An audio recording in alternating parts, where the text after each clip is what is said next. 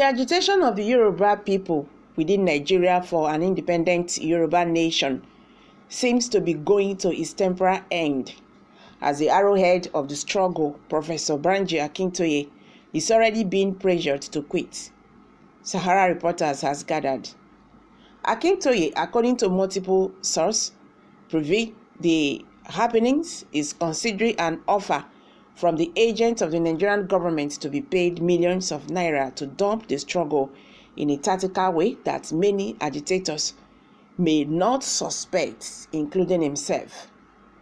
A presidential aspirant on the platform of the All Progressive Congress APC and a member of the Federal Executive Council is said to be coordinating the operations for the Buhari-led government, using some Yoruba groups as fronts to negotiate with Akintoye. The Nigerian government wants to kill the brand of Ilana Omo Oodua worldwide, just the way the defunct Yoruba World Congress under Akintoye was killed before Ilana Omo Oodua was bettered, one of the sources said. The Ilana Omo Oodua is targeted for dissolution, disorganization, and destruction unknowing to Akintoye because of the suit currently being spearheaded by the organization at the Federal High Court in Osun State, and Ado Ekiti, Ekiti State, challenging the validity of 1999 Constitution, which the group, through its lawyer, argued was enacted by the military government without a referendum. Another reason the Nigerian government is targeting Lina Omo Udua, according to the source, is that the brand is considered as too respected by the Yoruba people worldwide. The diplomatic corps, the foreign media, and the foreign government all over the world, aside from Afenafere, the only group that the world institutions recognize as the voice of the Yoruba people is Lina Omo Odua worldwide.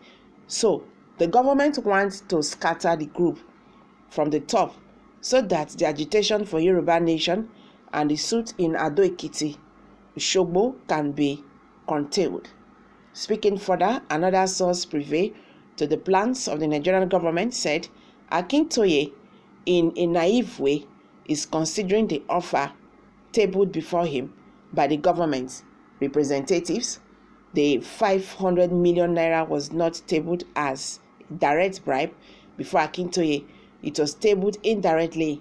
He was offered advice by some Yoruba groups to quit as the leader of Ilana Omo Oodua worldwide and became become the father of all Yoruba groups. And Akintoye considered it as an elevation of its status. It started in 2021 when the Yoruba self-determination movement was formed, but Akintoye failed to get the support of the close allies then.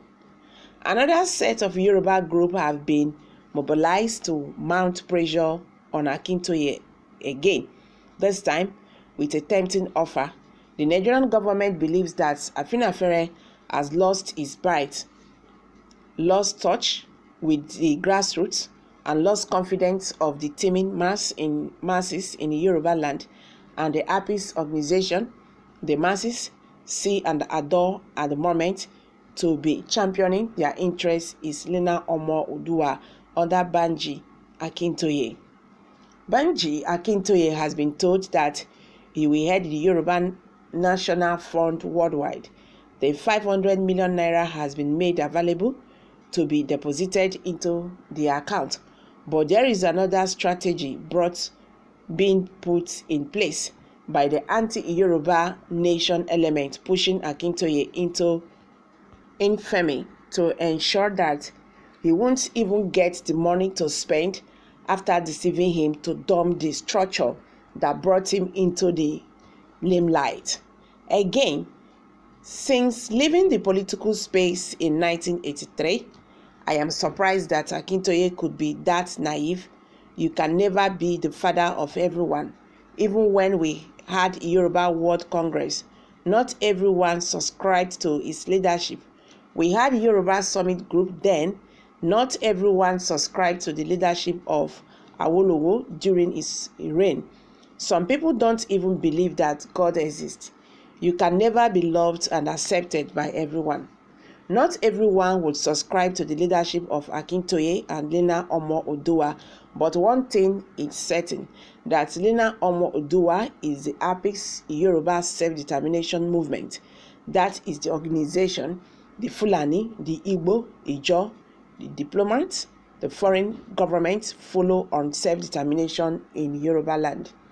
Accepting the proposal of those Yoruba groups energized and oiled by an APC presidential aspirant serving the interests of the Fulani Caliphate is unbecoming of a well-respected Akintoye.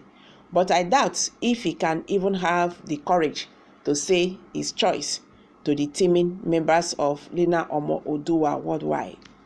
This is going to ruin him completely because this is a case of betrayal of trust of the Yoruba people, the source said. When contacted, Maxwell Adeleye, communication manager to Akintoye, said he wasn't aware of any meeting or new group, he said.